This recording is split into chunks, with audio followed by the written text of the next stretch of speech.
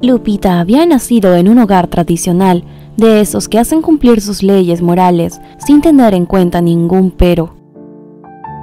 Creció siendo una niña trabajadora que debía cuidar a sus hermanos varones, atender a su papá sin chistar y ayudar a su mamá con absolutamente todas las tareas del hogar desde muy pequeña. No tenía permitido estudiar, pues la educación era un privilegio de los hombres. Aprendió a leer y a escribir a escondidas, su madre le había enseñado en medio de las labores, Gracias a una tradición diferente creada para las mujeres de su casa, que aunque sin fuerzas para enfrentarse a quienes las oprimían, hacían de la lectura y la escritura una pequeña victoria. Así transcurría su vida en un constante servir a todos menos a ella misma. Aprendió a obedecer ciegamente, aprendió a no rechistar, aprendió a cuidar su propia vida y a dejar que todo lo demás continuara sin interponerse aun cuando en el fondo de su corazón consideraba todo eso como algo muy injusto. Cuando llegó a la edad en la que ya podía concebir, su padre empezó a buscar candidatos para casarla. Era importante conseguir un matrimonio ventajoso, pues su fortuna cada vez estaba más menguada y solo tenía a una hija, pues a sus hijos hombres nada podría imponerles más que la propia educación tradicional que también habían recibido y por la cual seguramente buscarían también matrimonios provechosos en los que el amor pasaría al último lugar de las prioridades. No podría saber el padre que Lupita tenía otros planes y tampoco le importaba. Sin embargo, ella había conocido a un chico que pronto se hizo su amigo. Ambos eran todavía demasiado jóvenes para pensar que estaban enamorados, pero su madre lo descubrió y ella ya sabía que el padre estaba buscando al candidato perfecto para su hija. Su deber como esposa era informarle a su marido de lo que estaba sucediendo y con pesar, pero sin dudarlo, le contó todo a su esposo. La reacción no se hizo esperar. El pequeño Julio fue desterrado de la vida de Lupita, pues los padres de éste solo le permitirían casarse con quienes ellos aprobaban y después de haber cursado estudios en el extranjero. Faltaban todavía algunos años para que Julio y Lupita volvieran a verse. El momento que lo desencadenaría todo sería ese. Después de esa dramática separación, fue que llegó Aram a la vida de Lupita. Venía de una familia bien acomodada que buscaba casar a su hijo tan pronto como fuera posible para garantizar la continuidad de su linaje. Él tenía 23 años, ella tan solo 15. Él ya había viajado y conocido otras culturas. Ella, lo más lejos que había llegado, era a el río de la ciudad al que iba a lavar la ropa. Pero Aram era un joven guapo y Lupita pensó que casarse con él tal vez no sería tan malo. No sabía que fiarse de las apariencias es el camino más rápido para equivocarse. Sin embargo, aun cuando ella no lo hubiese aprobado, igualmente tendría que haberse casado con él, puesto que era la decisión de sus padres y sobre todo de su papá la única que contaba. La boda fue un evento por todo lo alto, y Aram, que había sido amable con ella los días previos a su matrimonio, esperó a que estuviesen solos por primera vez para mostrarse tal y como era. Un hombre como todos los demás de su familia, tradicional y terriblemente apegado a sus costumbres, y desde ese primer día de matrimonio él solo buscaba que Lupita quedara embarazada.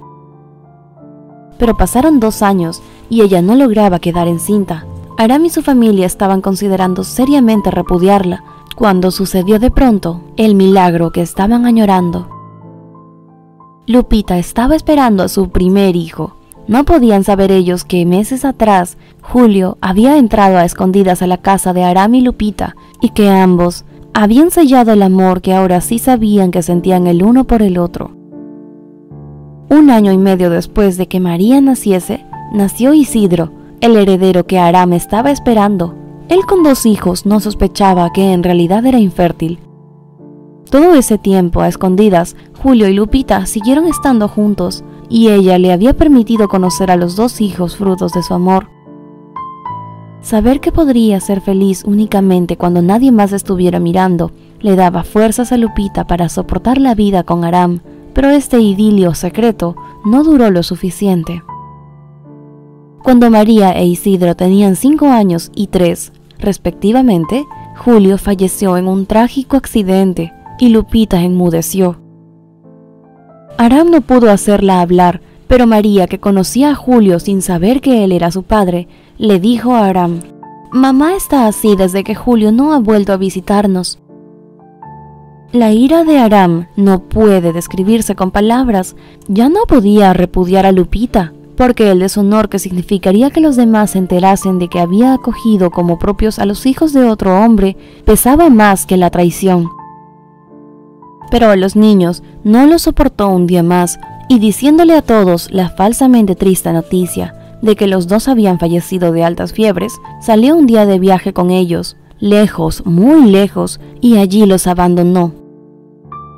Lupita, por su parte, seguía sin reaccionar, el trauma de perder a Julio, su gran amor, y luego a sus únicos dos hijos, frutos de ese amor, los únicos seres que amaba, la dejó en un estado del que nunca se recuperó.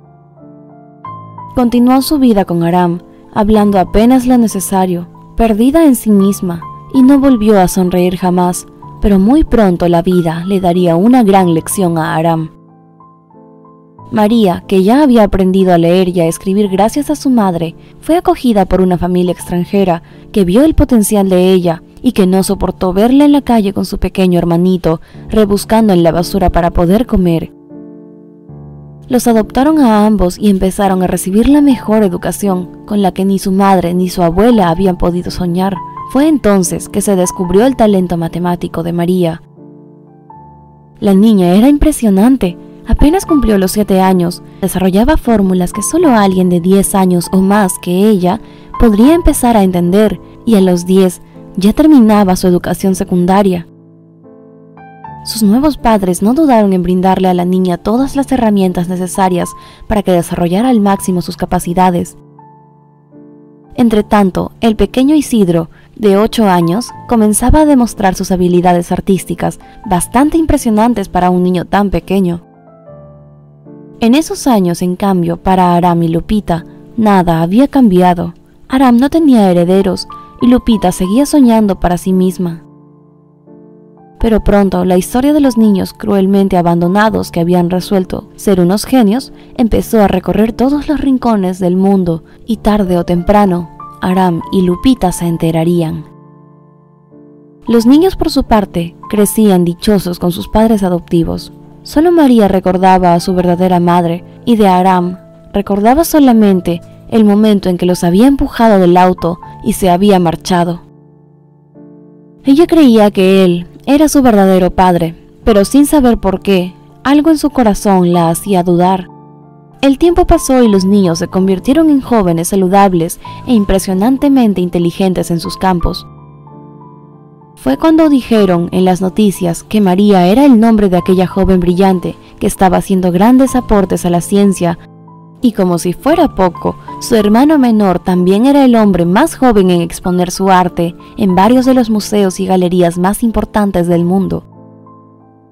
Lupita reconoció en ellos a sus hijos y por fin volvió a sonreír.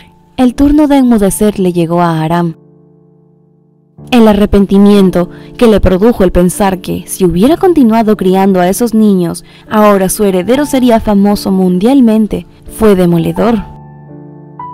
Lupita, que por fin había podido volver a la realidad, sabía en el fondo de su corazón que aunque deseando con el alma que Julio y sus hijos siguieran con ella, allí jamás habría podido estar bien, tan bien como lo estaban ahora sabiendo que el indecible dolor del pasado había traído algo bueno para sus amados hijos, Lupita se fue del mundo pronto, pues su corazón estaba demasiado cansado, pero se había ido en paz. A en cambio, el arrepentimiento le duró hasta la vejez. María pudo romper la tradición de la educación secreta de las mujeres de su familia, e Isidro, a su vez, creció apreciando el valor de todos los seres, hombres y mujeres por igual. Después de mucho esperar, a veces, el destino recompensa el sufrimiento y aquellas cosas que te destrozan en un momento pueden ser el comienzo de una nueva construcción, de una vida mejor. Si te gustó esta historia, compártela con tus amigos y familiares y no olvides suscribirte al canal. Este fue un video más para tu canal favorito.